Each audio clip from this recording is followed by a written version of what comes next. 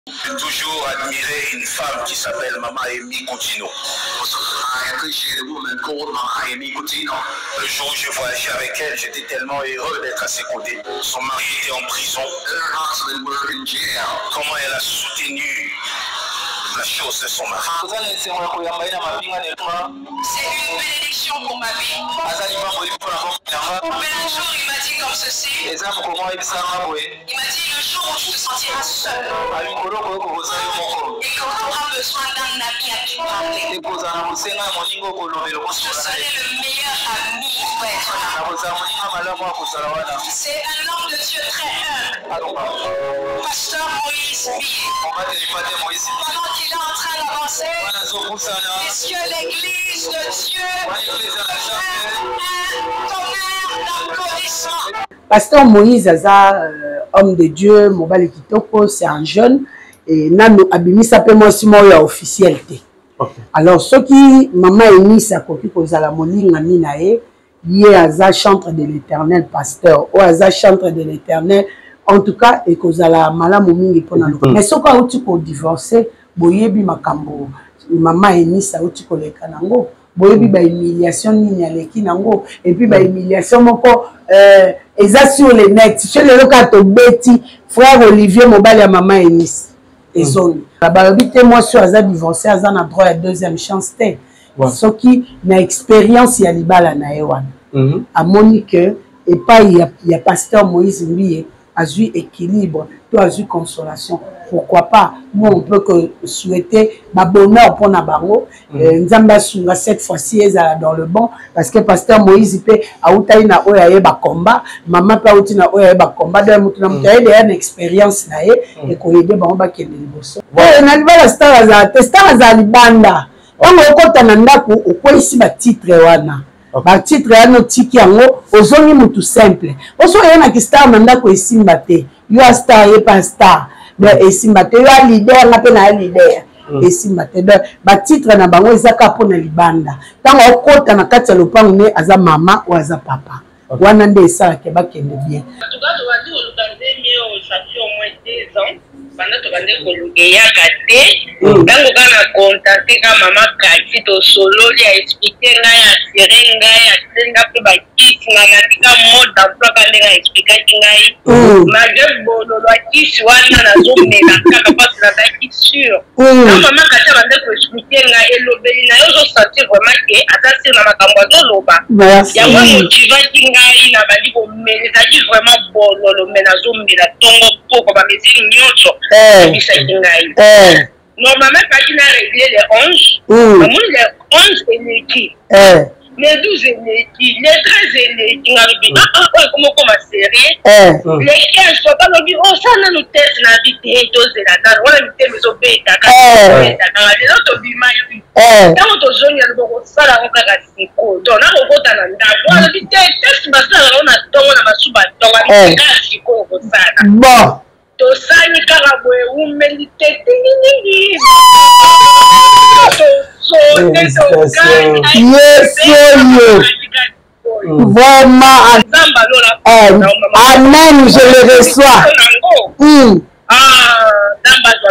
Amen.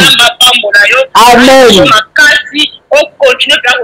Amen. Amen. merci mama béatrice nzambe mpe apambola yo zemi wana ngai na souhaite ezala mapasa comme ça tokomble beza wana yesu asala na ndenge na ye kaka mama béatrice na mobali na ye babandaki na pirito okay. pirito eza antibiotique antibiotique oyo eza kaka mpona konettoye kolongola baimperfection bamwa mm. bainfection mike mike oyo ekoki kozikisa semence nde napesaka purité oyo oh, mwasi na mobali bameli bomeli 12 jours 12 jours mwasi ameli 12 jours mobali mpe ameli 12 jours ntango basilisi mhm.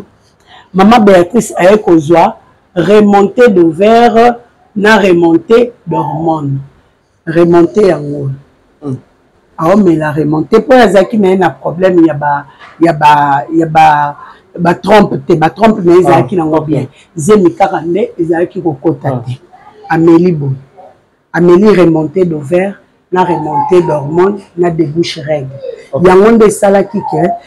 ebongisa cycle na ye mpo ndenge ezala baregle mosusu omoni esali 3 jours mosusu ekati esali 2 jours après une semaine ezongi lisusu mm. baregle ya bongo c'est compliqué mpo calcule cycle eke bahormone na baover eza te mm. zemi ekota te soki bahormone na baover eza te mwasi akosala basécrétion vaginale te soki bahormone na baover eza te règle ekomaka ya kosote sote soki eza te matrice ya mwasi ekomaka malili meme sensation ya nzoto ozosimba mwasi plaisir mpenza azoyoka yango mpenza te mpo hormone na ovaire eza te nde azwaki bo na natanga bio ye nde mama na bango tanga bio yeyo okomela ye pendant 5 jours moko na ntongo moko na pokwa soki osisi na tanga bio oye kozwa f2 f2 yango aza ya kotongola batongolaka ye bouteille moko na tongo a tiède et puis le lendemain bouteille moko a tiède pendant deux jours soki osilisi na yango oye kozwa sipokati wana eza na congélateur eza ya kobaka babakaka yango tongo pokwa tongo pokwa pendant 5 jours oye kozwa sembola purge sembola purge na biso yeyo soki ozwi sembola purge oyo okotongola yango demi mpo oyo alekaka makasi mingi demi na ntongo demi na pokwa ezalaka deux bouteille donc ekosala yo 4 jours ya purge soki osiyisi na yango oye kozwa sukisa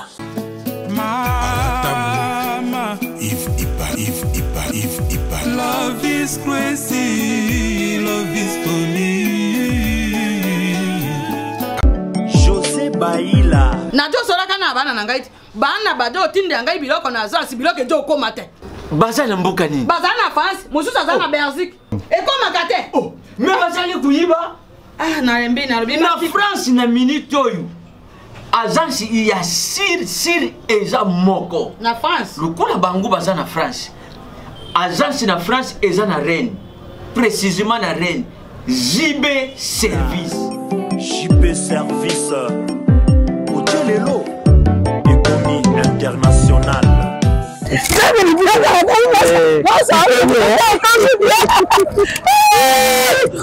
tata na ngai nzimbe service merci eh. ta biloko na ngai obendenge bana batindaki ndenge mpe biloko ekomi nde nakanisi soki yo oza mondele zoze bayila eh. aza mondele te eh. aza kaka kongole lokola yo na ngai nayimisaki yo JB service eza esika ya kobunga te na France eza precisement na Rennes ba numero ya kobenga yango wana oza komona awa na Kinshasa eza na Sainte Therese na Nzile soko kaka moto akomi na Sainte Therese na nsima ya station directement soko atali kaka boye mbala moko JB service epai ya Jose Baila en plus eza kaka na kishasha te eza na province ezali mama marizane ndeko na ye azali na congo central eh. azala na mbanza ngungu eh. ezala na kimpese eh. ezala na kisantu to na boma to na mwanda soko kaka abengi na numero ezali awa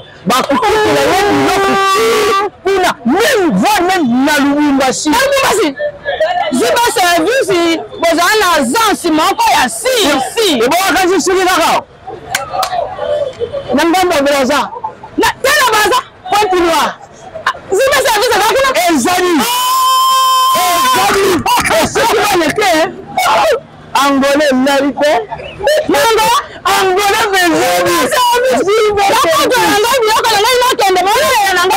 Zibe service. Etat eza musika. Azobeta ba. Etindela ngai be osali test ebimi positif be ezemika na ngi en tout cas tinda yango parce que omoni babiloko oyo eh? bato baleka tembe mingi bandimaka te nzambe oyo apesanga mayele oyo asalaka mm. ma béatrice na bondeli ya bolingo ya jésus christ tindelanga voice eleka na émission eleka mpo bato bamonaka awa makambo ezala ya solo Magatu, s'il vous plaît. Ezwi yo combien de mikolo? Ezwi yo mikolo boni pour que lelo ozwa remède par rapport ya situation na yo?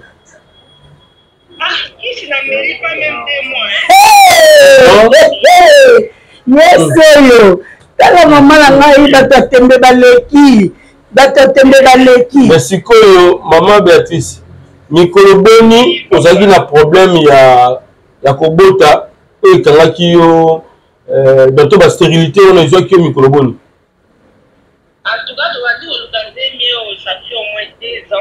banda tobande koluka eyaka te ntango hmm. kaka na kontakte ka mama kati tosololi aexplike ngai asere ngai asenga mpe bakisi ngai natika mode d'emploi ka ndenge aexplikaki ngai hmm. malgre bololo akisi wana nazomela kaka mpasi nazalaki sure Vraiment kata bande ko expliquer nga elobeli na yo ozo sentir vraiment que aza sur na makambo azo loba.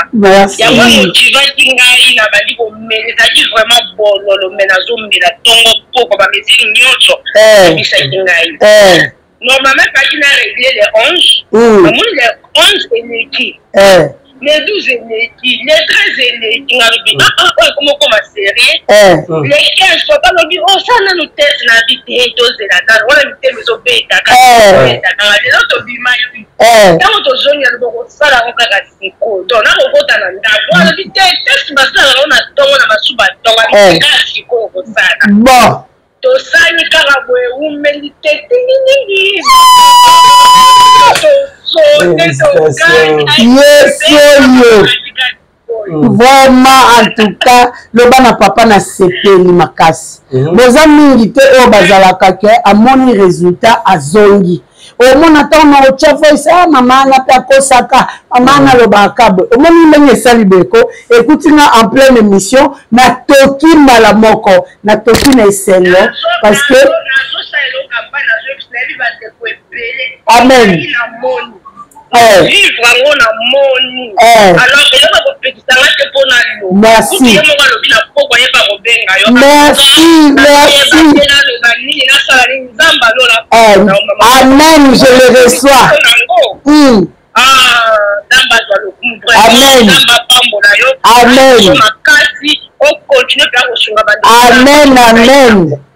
merci maman beatrice nzambe mpe apambola yo zemi wana ngai na suete ezala mapasa comme ça tokomble eza wana yesu asala na ndenge na ye kaka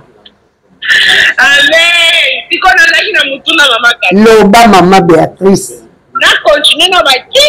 temela continue parce que ezobakisa bahormone bahormone na bovere wana yango nde econservaka zemi ti ya terme yo mela na yo kisi eza na complication te ebakisa kaka mwana mikuwa ebakise mafuta be yo moko omona sembesembe abana ano kolela fort ya solo eh.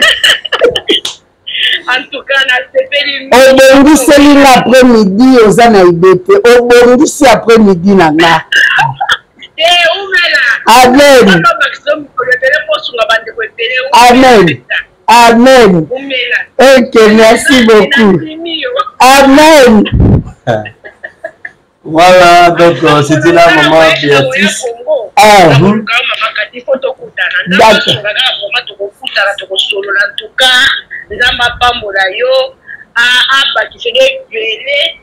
yo obakisi esengo na vi na nga amen obakisi mpenza esengo to lelo tozanga koseka na eh, boseka yaya boseka amen amen amen nabombi zemi wana na nkombo na yesu ekende ti ya terme botemoigne bomona makambo ya malamu au nom de jésus christ Amen. Amen. Ça, c'est bien.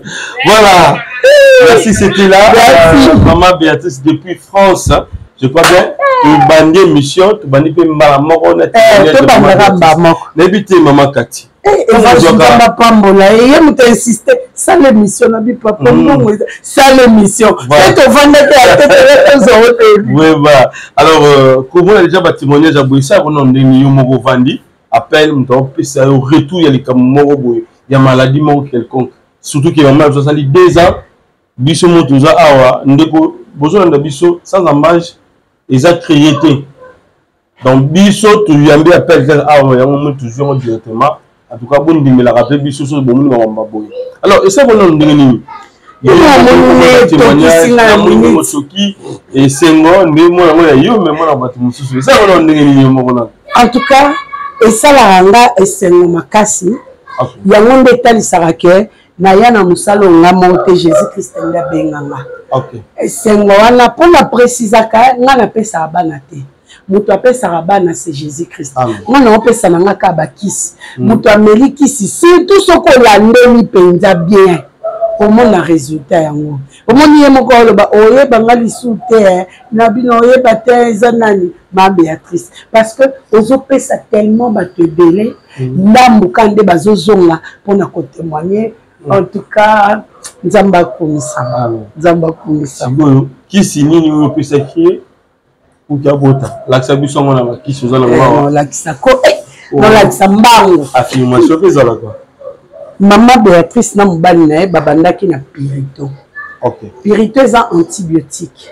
antibiotique oyo eza kaka mpona konettoye kolongola baimperfection bamwa bainfection mike mike oyo ekoki kozikisa semence nde napesaka perite oyo mwasi na mobali bameli bomeli 12 jours 12 jours mwasi ameli 12 jours mobali mpe ameli 12 jours ntango basilisi mm -hmm.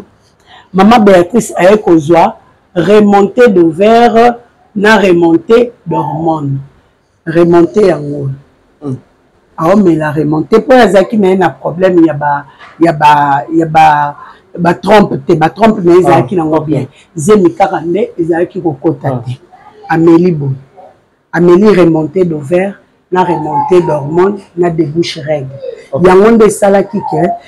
ebongisa cycle na ye mpo ndenge ezala baregle mosusu omoni esali 3 jours mosusu ekati esali 2 jours après une semaine ezongi lisusu mm. baregle ya bongo c'est compliqué mpo calcule cycle ye sikoyo azozongisa regle mpenza soki ezalaka 4 jours ezongi 4 jours mm. soki ezalaka 5 jours ezongi 5 jours elongoli bakayu elongoli bacouleur oyo mwindu mwindu ya bamove move elongoli yango mm. donc regle etikali kaka rouge et puis Euh, remonte oyo ye nde azobotisa ba hormone na ba ovaire parce que soki mwasi azwi semence eke ba hormone na ba ovaire eza te zemi hmm. ekota te soki ba hormone na ba ovaire eza te mwasi akosala ba sécrétion vaginale te soki ba hormone na ba ovaire eza te règle ekomaka ya kosote sote soki eza te matrice ya mwasi ekomaka malili meme sensation ya nzoto ozosima mwasi plaisir mpenza azoyoka yango mpenza te mpo hormone na ovaire eza te nde azwaki bo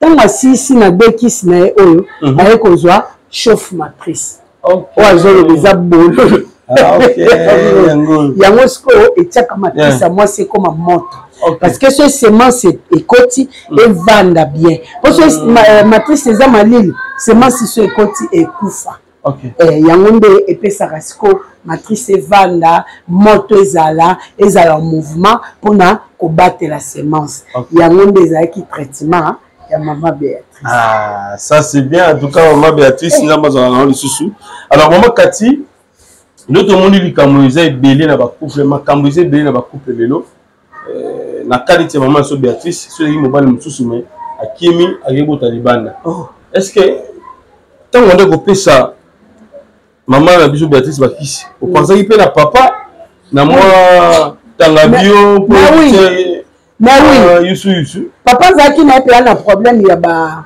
ya ba hémorroïde te okay. mais mpo na kobongisa ka mokongo mpo sperme soki ekende na pression nde epesaka yango place ekende kovanda okay. mais soki sperme yo okotika sikoyo bu obwaki ebimi na pression te ale esuki nango quelque part olieke okóma na destination ekóma te moyen mwasi okay. azwa zemi eza te mm. na yango wana amelaki tanga bio omeli tanga bio na ye fd yango kuna fd eh.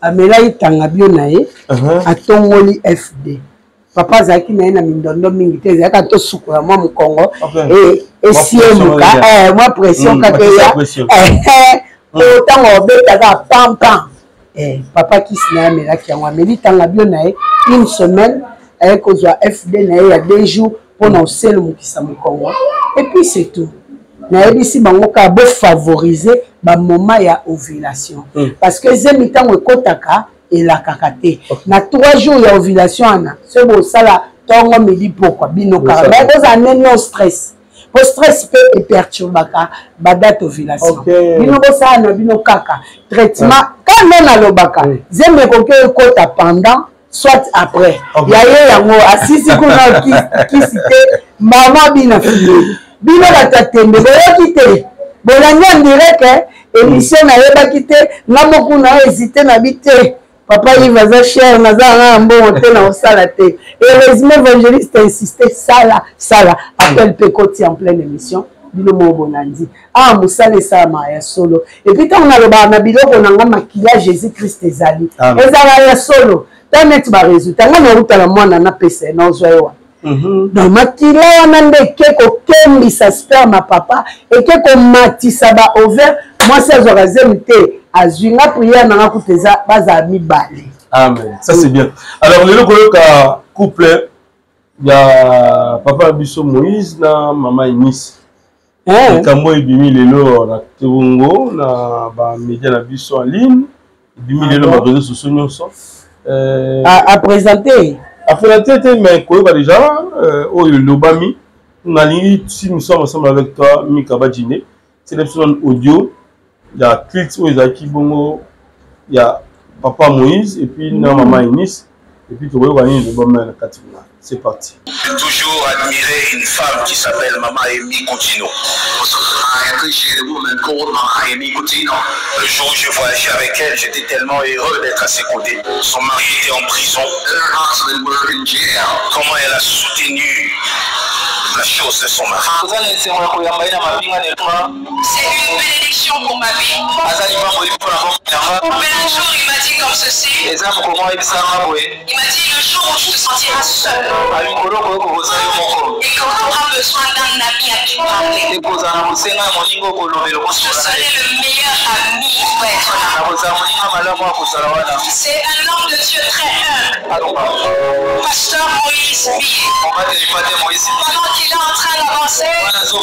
Puisque l'église de Dieu un tonnerre d'applaudissements. Voilà, tozongi na reporter na biso. Nayebi te mama kati koyoka mongongo d'abord ya euh, papa Moïse ndenge alobi malamu ya mama Kutino oyo mm. akompagnaki mobali na ye et surtout plus ntango mobali na akendaki na mobembo ye atikalaki souvent azalaki wana mpona kosunga misala na etonga ya papa epuis maloba ya mama enisi koyoka yango koloba ete bayesaki nga moninga malamu akoya na nga akozala na ngai pembeni e na moma oyo ngai nakozala na mposa moninga moninga nga akozala pastere na badire na ye elobami ndenge wana esali ndenge nini bandeko baosala confusion par rapport ya badire na bango ou bien ezali bolingo ya solo oyo elobami na baetando na biso en tout cas tout d'abord nakopesa baeloge na mama eni kutino mpo mhm. na ngai c'est une femme modèle mpo ah. na ngai azali idole mama wana mpenza aza idole mpo na nga okay. nalobaka mpenza lobi soki nakomi na bacapacité ya mama wana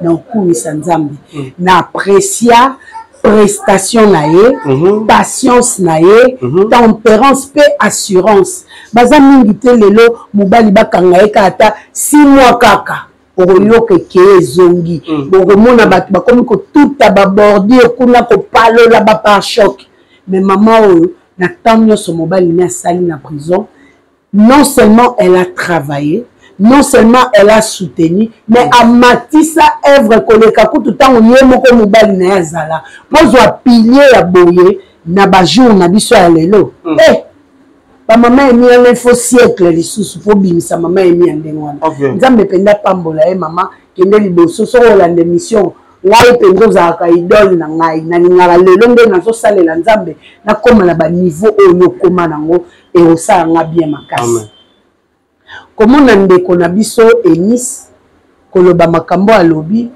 bon ka nde tolobaka dage mai eninganaka pamba te mhm. pasteur moïse aza euh, homme de dieu mobali kitoko c'est un jeune e, nanu abimisa mpe mwasi moko ya officiel te okay. alors soki mama enise akoki kozala molingami na ye ye aza chantre de l'éternel pasteur oyo aza chantre de l'éternel en tout cas ekozala malamu mingi mpona et puis pasteur aussi eko soutien ekozala mutuel oyo azosoutenir œuvre oyo mpe azosoutenir œuvre omoni bapilier soki eza bien ndako ekotelema malamu mm. bapilie oyo ezalaka mabe bapasteur mosusu lelo tozoloba na ye kaka hey, eh, ye adivorsa ye asabe oyebi makambo amona na bacouple te eh. mm -hmm. bapasteur na biso babala basi na bamiso ya kala miso ya kala keye mwasi na nga bomwana tokoli na nzoba mwasi na bomwana azala ndoki ntango okay. yo mati sikoyo na bonzambe mm. oye kodecouvrir ke a ah, oyo kabia mpemba ah. il faut kabwana na ye mais bato baoyeba te ah. oyo mpona nini ya pasteur adelivre te or oh, delivrance ezalaka volontaire okoki kobondela mpona motu mais soki ye moko afungoli motema te mhm. akozala delivre te na moi boye aza epou na yo aza épouse na yo na butu ye moto akombaka yo soki basengi ye motu kopalangana te ke parce que c'est mon epou aopesa yo yango ozomona bapasteur mosusu na ba, ba, ya basi na ya mibali oyo bazokabwana eza mabe peut-être na miso ya bato mais so oke dans le fond omonaka ye baza na raison mpo na nini bato baolinga azwa mwasi oyo azosambela mhm. parce que mwasi oyo azosambela non seulement akobanga nzambe akoporte bafruit oyo ekobatela etonga mm -hmm. parce que œuvre de l'éternel eyaka na bakomba ya ndenge na ndenge mm -hmm. eyaka na bitumba ya ndenge na ndenge alors soki mwasi aza na bonzambe te eza mpasi mm -hmm. mpo baeglize eyaka mingimingi bamama kaka bapapa bayaka na bango me bamama nde bazalaka bato ya baka ntango bango bazoya ndenge wana mwasi soki aza motema monene te osupporte te omona banda maa paster aya eglise ekauka banda maa paster aya mm. bayembi bakima parce que oza wana ozoprotege mobali ozoyeba te ke c'est un berger mm. berger aponaka te ke nakobatela pate oyo pate oyo nakobatela te mais mama enisi autodivorce kala mingi te na ndeko olivier est ce que divorce oyo ezalaki officiel elekaki bandeko bayebi ya leta tout ça bon eumeli mingi te awa autikonayebi soki eza officiel hmm. mais soki auti kodivorce boyebi makambo mama enisa auti koleka nango boyebi ba humiliation nini aleki nango epuis ba humiliation moko euh, eza sur le net so lelo kaka tobeti frère olivier mobali ya mama enisi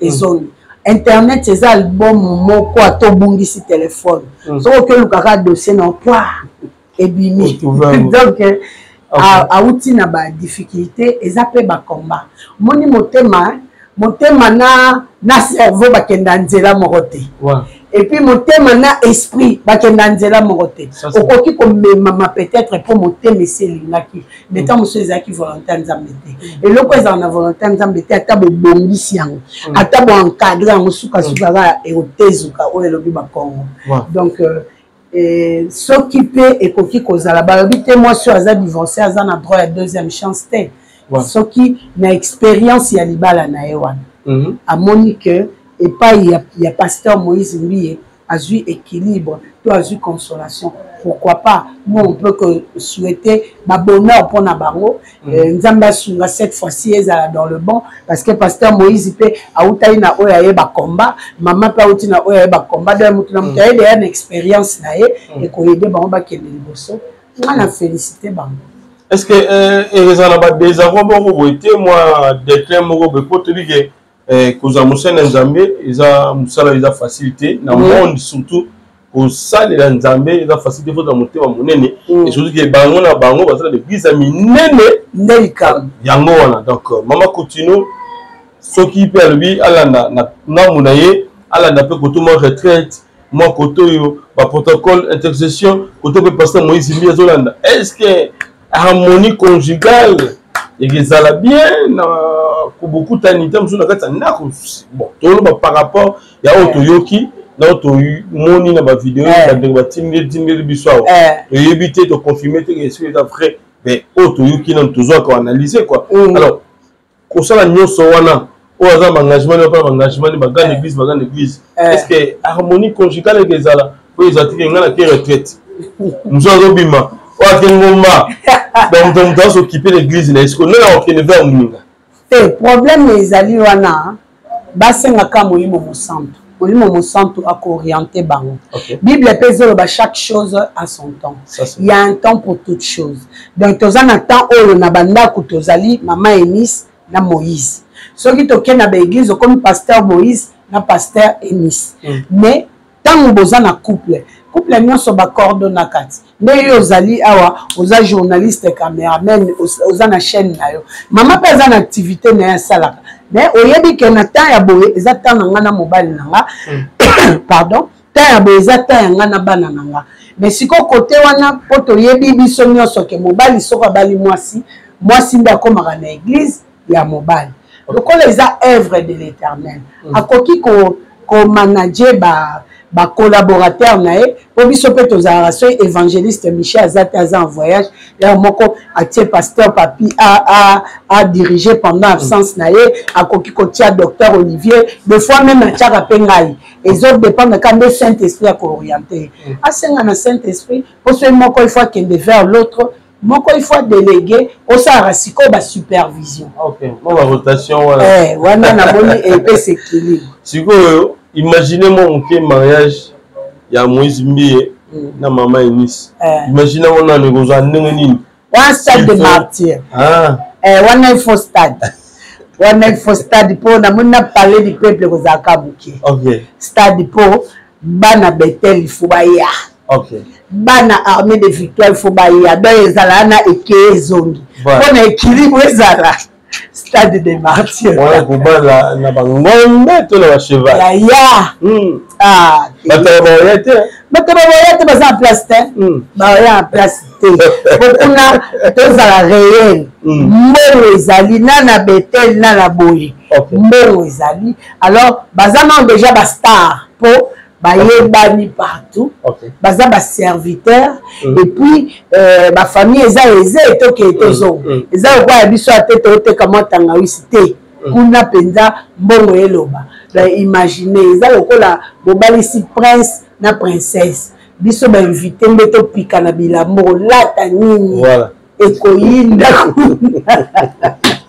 liloba na bandeko baotala biso et surtout mpe baoyo mpe balingi likambo yango esalema ainsi mm. euh, oyebisa bango nini surtout ke bandeko bayebi ke mingi bastar libala na bango suka na yango ezalaka kaka toujours divorce division Eh, te tobondela ka mpona eh, na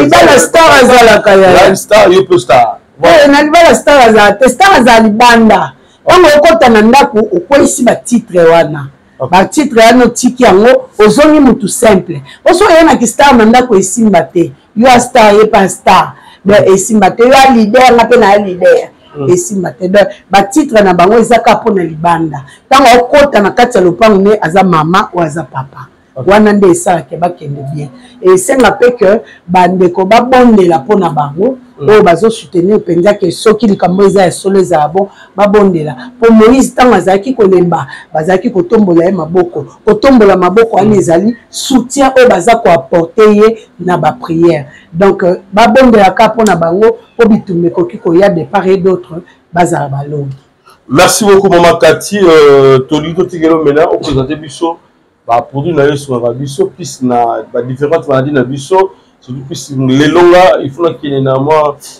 babe yango nini oyo esalaka ke antibiotique chiki mpe alobaki estoma ezotumamituna ah, papa nanitenga nayebaki te ah. nde na ngai namemela ye ah. akende soki ozala kuna na kotupiabi estoma ederangeaki ye makasi likolo azolala bien te motema moto mhm. mabi otuna papa iva yebisa nga mona obengi no telefone eh. moya ozwa eh. nga awa lelo mpe sofu pesangaka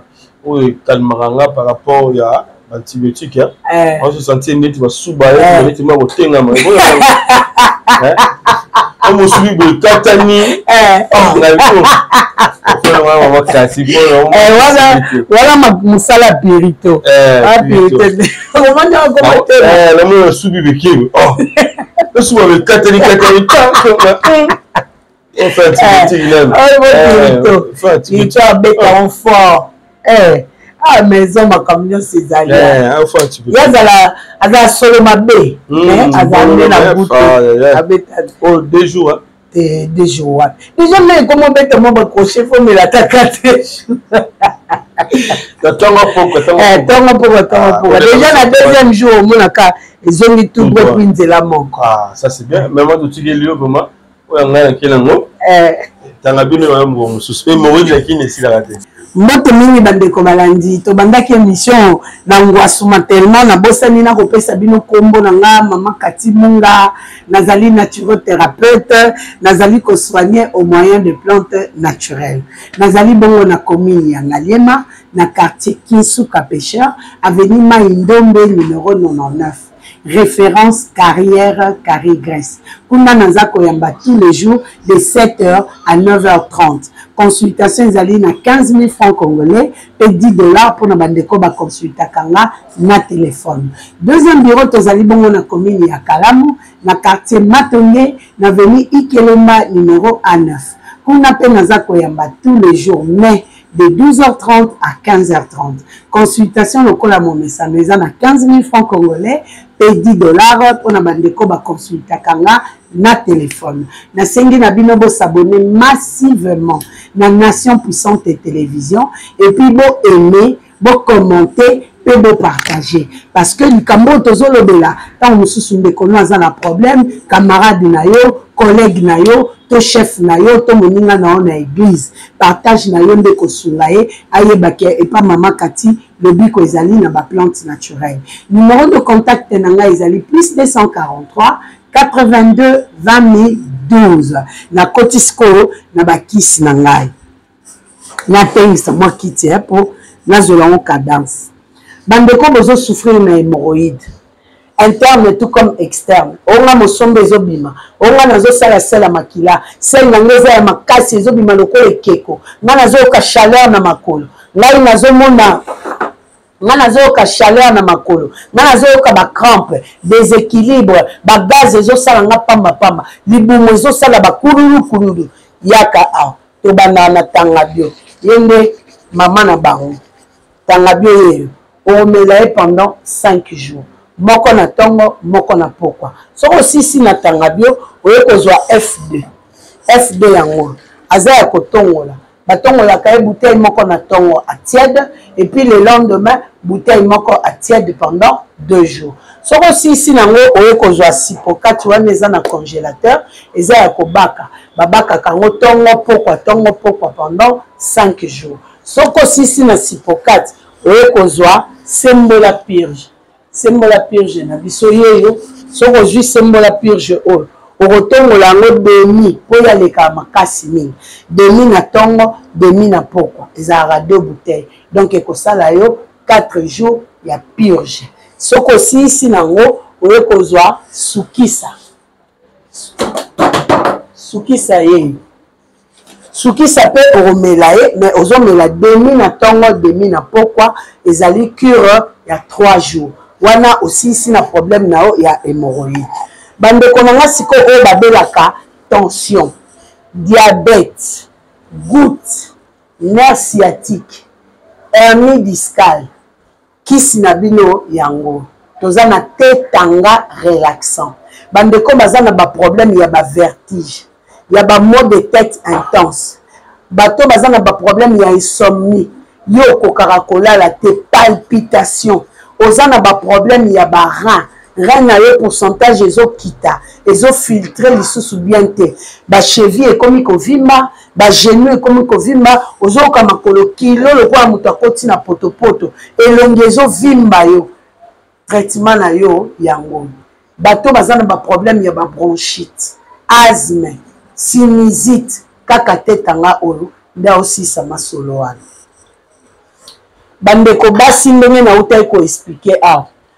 o trompe na yo eboucha toza na traitement ya debouche trompe o règle na yo ekatana tozali na remonte d'ovaire na debouche règle o matrice na ngai ndenge ezala ya bongo ekoma malili toza na chauffe matrice yango oyo traitement ya kobota kote ya bandeko na nga ya basi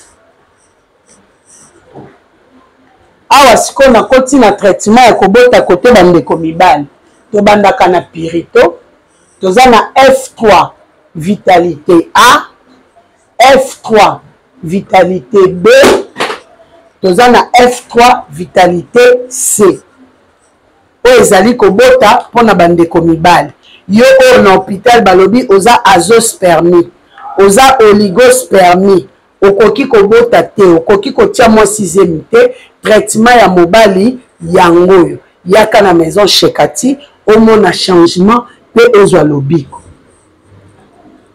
bandeko oyo bazali na problème ya combo na ye ekoma mokie combo ezokoma bien te yaka pomade élargissante yango oyo pomade oyo ebakisaka 3 cm epai ya mwana mobali yo mpe mama olobi nga poitrine eza moke na ndenge air bage ya monene pomade yango onga bassin na ngai ekoma lokola na kima fimbu pomade yango boya na maison shekati toza na makambo ya kosalela bino awa na ozotalisa bandeko baza na problème ya estomac Estomac ezo tungisa yo makasi oh nakoma na crampe nayokaka chaleur ezobima nga na mokongo nayokaka crampe nasalaka ba renvoi pamba pamba nakoma kosala ba ok chaleur nazokoka kolala te estocure mpona bandeko ya estomac yango tozali awa mpe na miel pure miel oyo euti mbandaka tala kilo ya miel eza oyo basangisela bino te batya mai babakisa sukali na koka te oyo kaka ndenge euti kuna na epatere yango nde nayeli bino awa nazali mpe lisusu na mwamba papa mwamba papa nde awa esili Bomba papa eza stimulant sexuel naturel. Olingi obakisa bopikiliki bwa bokunju bwa nzoto na yo, yaka kozwa mwamba papa awa okosepela. Ba ndeko na nga oyo baza na problème ya misu, vision flou, ozo mona lokola na sachet, image eza fixe te, mayi ya misu ezo bima, ozo yoka mabele na misu, ozo yoka mokosa, misu ezo sala pasi, toza na voir claire. voir claire wana ekosunga yo mpona kokata biloko wana pomade euh, beurre de karité toza nango awa huile de coco toza nango toza na zero nduta tozali na euh, bapomade oyo ebotisaka suki mpo na mabandi en tout cas je crois que en général mosala nasalaka yango wana nabosani te bandeko baza na problème ya cancer de sein cancer de col cancer d'utéris pe cancer de prostate na maison shekati tozo soigne epuis bandeko baza na problème ya poison boya na maison shekati mpo na kosukisa mama kati munga mwanda azali candidate depute nationale na circonscription ya lukunga en tout cas bosala vote utile votre utile ezali mama katimula ngai na oya na mopepe ya sika kaka nde batémoignage ezoya ndenge mpe bokozwa batémoignage na ngai na parlement donc ntango yo ozokende na urne wana kobosana nkombo ya mama katimunga mwanda te nazali depute national na lukunga soki nkolo yesu azongi te tokomonana mbala ya nsima napesi mbote na ngai na paster papi luindula